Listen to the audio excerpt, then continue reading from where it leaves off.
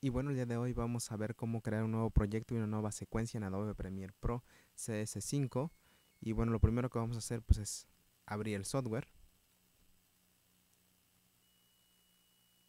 Y bueno, nos va a aparecer esta ventana donde podemos abrir un nuevo proyecto.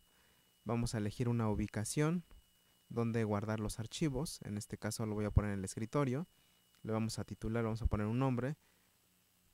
Proyecto 1 si se dan cuenta del lado derecho de mi pantalla ya me apareció el proyecto y ahora me pide abrir una nueva secuencia. ¿Qué es la nueva secuencia? Bueno, significa que el proyecto debe conocer características específicas del video con el que vamos a estar trabajando para que pueda trabajar en conjunto, ¿no? Entonces necesariamente necesito saber las características de mi video. Para ello yo voy a estar trabajando con este video. Eh, para saber las características les voy a dar clic derecho, obtener información y ahí va a aparecer las dimensiones que son 1920 x 1080. Eh, otro dato importante es que este video fue grabado con una DSLR, entonces ya tenemos dos datos interesantes que nos van a ayudar a seleccionar una nueva secuencia.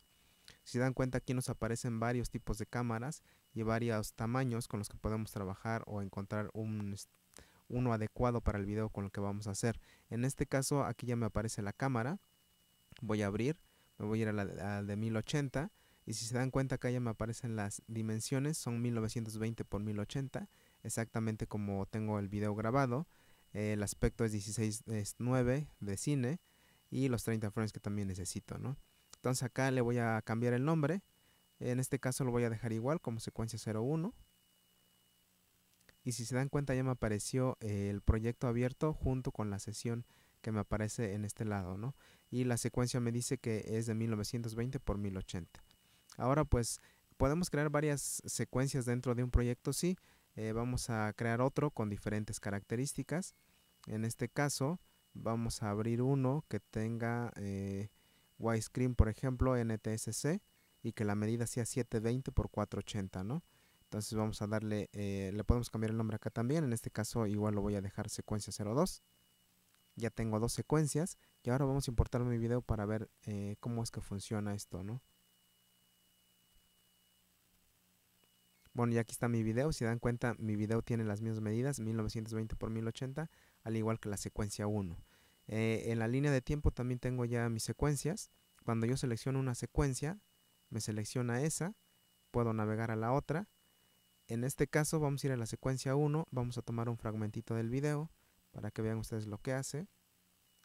Vamos a arrastrar a esa, a esa secuencia 01 y vamos a ver que mi video me va a aparecer en toda la pantalla.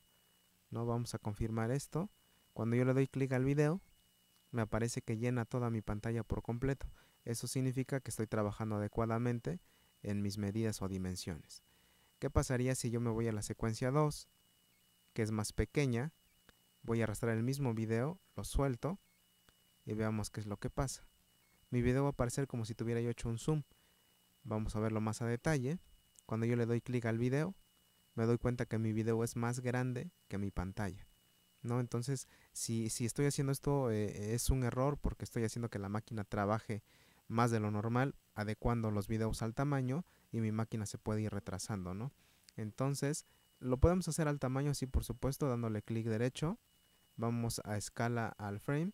Si dan cuenta, pues ya me lo acomodo más o menos al tamaño, aunque pues me dejó unos aspectos en negro, ¿no?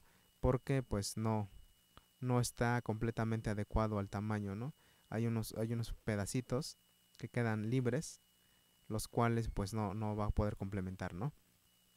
Entonces la recomendación es que siempre que hablamos un proyecto y una nueva secuencia, siempre lo hagamos tratando de que uno sea compatible con el otro para que podamos trabajar adecuadamente sin forzar a nuestra máquina y podamos hacerlo mucho más rápido. Recuerden que en la edición eso es muy importante, ¿no? La velocidad con la que podamos trabajar.